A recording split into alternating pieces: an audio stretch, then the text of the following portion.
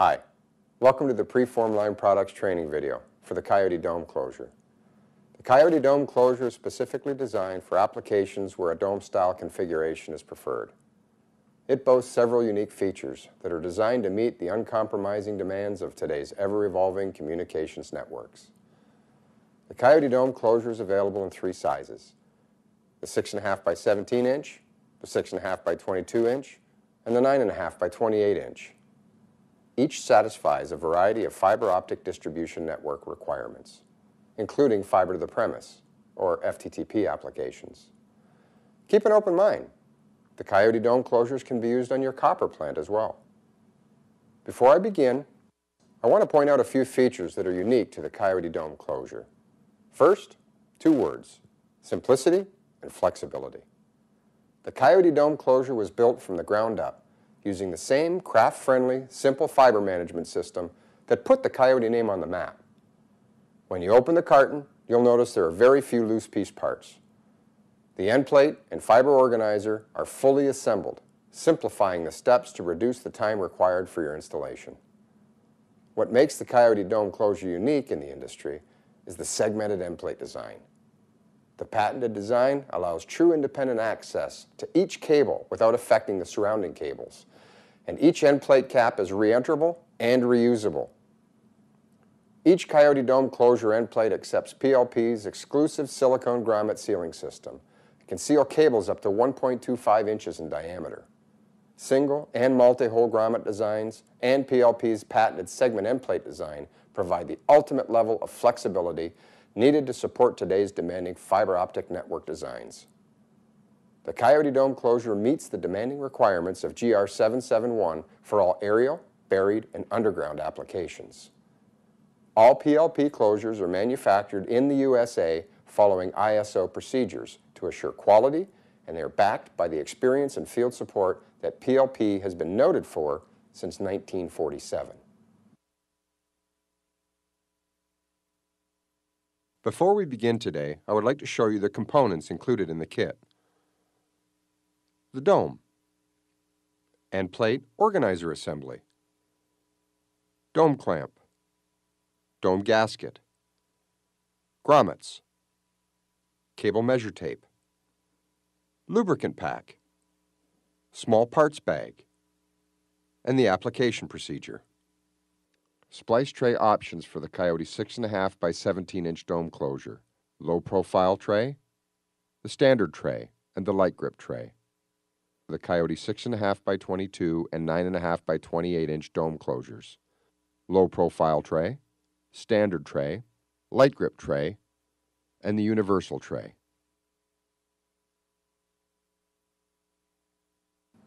Now I'd like to run through a list of the tools you'll need to complete the installation pliers, 3 8 and 7 16 can wrench or socket, snips, and a knife.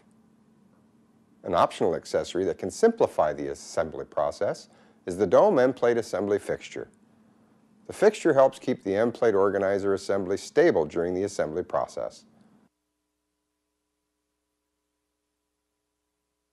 Consult the application procedure provided with your closure for the specific cable openings.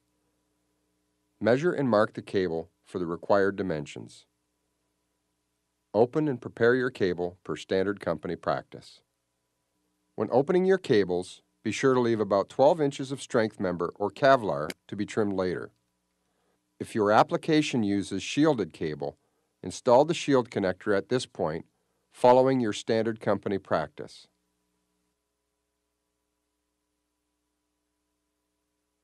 The best location for the primary cables to enter the end plate is near the bottom. For the 6.5 inch Coyote dome closure, the best locations are ports 3 and 4.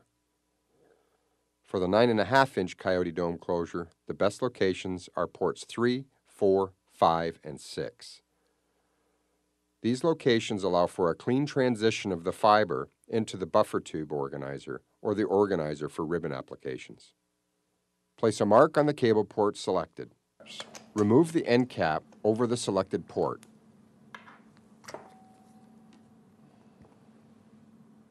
Score the edges of the tabs with a knife and break each tab out with your pliers. Scoring the edges of the tabs several times will allow them to break out easier. This process can either be done with the end plate removed from the organizer or when the end plate organizer assembly is installed in the end plate fixture. Position the end plate organizer assembly next to the cable. Place the cable in the selected opening. Line the cable opening up with the center hole in the cable restraint bracket. Place a mark on the strength member just short of the end of the strength member cap. Make two marks on the cable aligned with the inside edges of the end plate. Cut the strength member. This determines the placement of the grommet. Using the cable measure tape provided, Measure the cable to determine the diameter and location to use in the grommet. The range of cable diameters each grommet can accept is displayed on the face of the grommet and on the label of the grommet kit. Insert the grommet onto the cable, slide it over the area previously marked, and lubricate the exterior surface of the grommet. Insert the plugs provided into any unused holes. If your application requires express or balloon cables, lay the grommet on a flat surface. Use a utility knife to cut through the grommet. Slit the grommet on an angle so the slit does not enter the hole in the grommet at a 90 degree angle. If your application requires the use of figure 8 style cable or cable with a toner wire, the messenger or toner wire must be removed in the area where the grommet will be installed.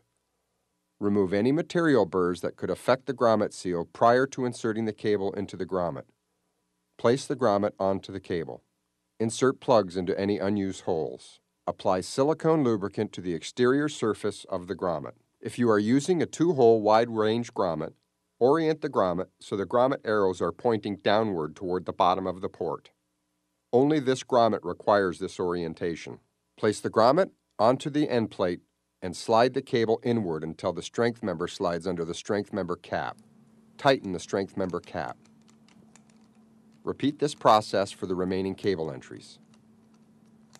Install end plate cap and tighten bolts evenly until the cap is fully seated.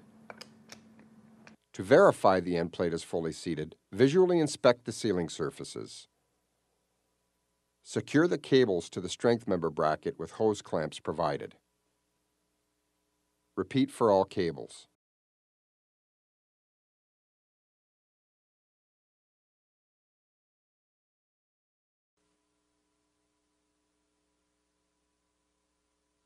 If your application involves loose buffer tube cable, then the Coyote Dome closures to select are those designed specifically for buffer tube applications.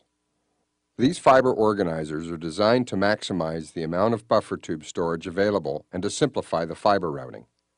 For a non-dedicated fiber application, cut the fiber at the center of the loop.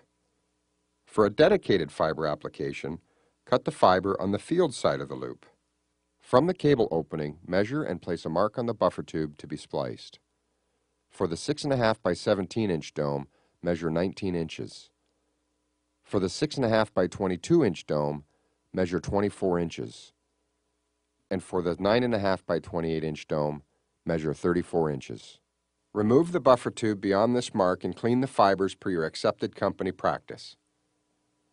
If you are using the traditional Coyote splice tray, this is the location to apply a strip of blue felt. For this demonstration, we will be using the light grip splice tray. Insert the buffer tubes to be spliced into the retention sleeve and install it into the splice tray channel with the angle edge facing down. Confirm each sleeve is fully captured below the tabs.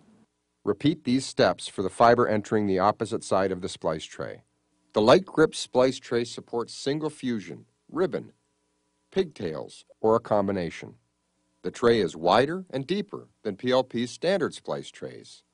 Tie wrap features are still available on the tray if you prefer that approach. Route fibers to be spliced one and a half times around the splice tray and into each corresponding slot, and splice per your accepted company practice. Position the cover on the tray and rotate forward until the tabs engage in the base of the tray. For cover removal, Compress the tabs inward and rotate the cover upward. Route expressed buffer tube into the storage brackets. Place the tray onto the organizer and secure in place. When using the 9.5 by 28 inch dome for buffer tube applications, the storage brackets are located at the bottom of the organizer. Additional storage brackets are also provided along the sides of the organizer. If you are routing the fiber through the side storage brackets, place the buffer tubes inside the storage brackets and snap the retainer clips into the openings. Place the tray between the organizer brackets and secure in place by tightening the strap. If your application involves ribbon cable, then the Coyote dome closures to select are those designed for ribbon or unitube applications. For a dedicated fiber application, cut the fiber on the field side of the ballooned cable. For a non-dedicated fiber application, cut the fiber at the center of the loop. Cut the ribbon to be spliced. To improve handling and storage of ribbon fiber, light grip ribbon managers can be installed over the ribbon bundle. Spread the ribbon manager apart and apply around the ribbon. For additional security, wrap one layer of 3 quarter inch vinyl tape around the ribbon manager.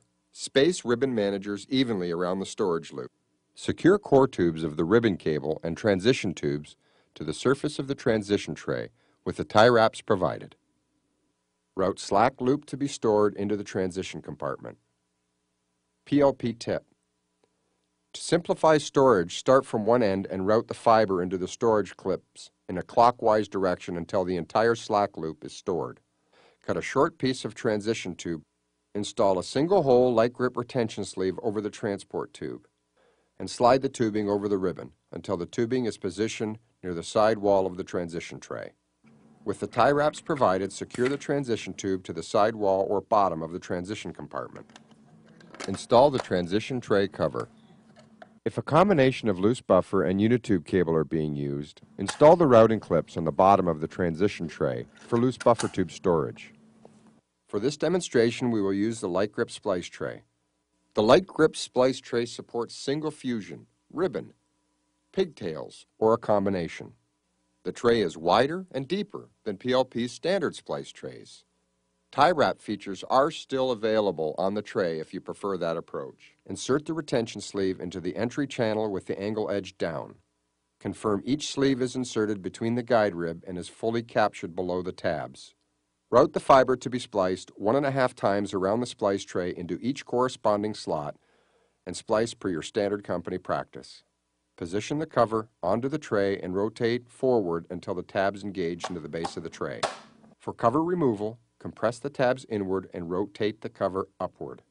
Place the tray onto the organizer and secure in place. Repeat this process for the remaining trays. Secure in place by tightening the strap. Alternative routing for ribbon fiber. Cut a small piece of transport tube and apply a one-hole retention sleeve. Slide onto ribbon fibers to be spliced. Repeat for all ribbon fiber bundles to be spliced. PLP tip. Prior to installing heat shrink sleeves, label each with its respective splice count. Splice per your standard company practice. Insert first splice into splice block. Install the remaining splices in numerical order. Organize ribbons below the tabs on each side of the splice tray. Slide each transport tube up to the splice tray. Insert each retention sleeve into the entry channel with the angle edge down. Position the cover onto the tray and rotate forward until the tabs engage into the base of the tray. Repeat this process for each additional tray. Route slack ribbon fiber into the transition tray. Install the transition tray cover. Place the tray onto the organizer and secure with strap.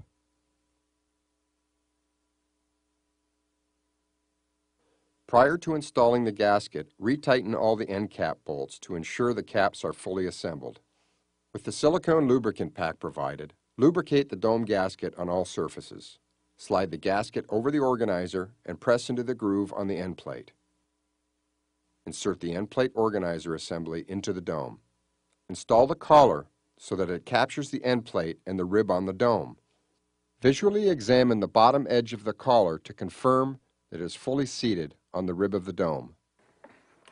Close the remaining half of the collar to fully capture the end plate and engage the latch to secure. Using your can wrench, rotate the fastener on the collar to lock into place.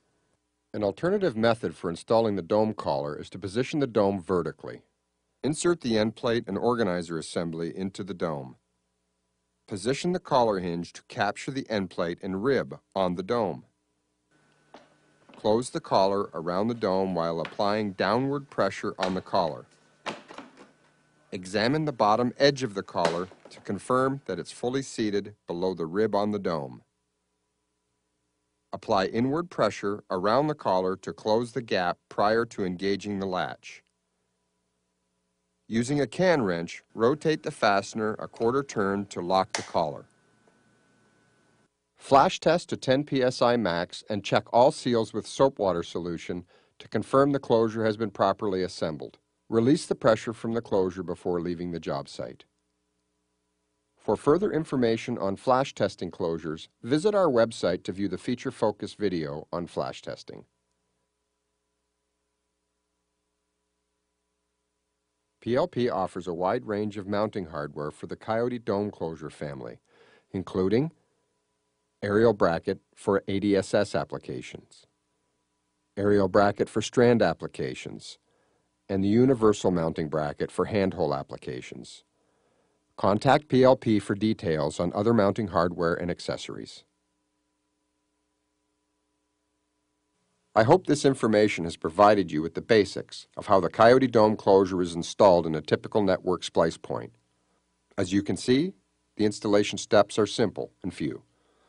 The same design philosophy is present in other Coyote fiber optic closures. Preformed Line Products proudly manufactures the Coyote Splice closures in the USA, and our experienced field sales staff and technical support specialists are there to support you at any time. Thank you.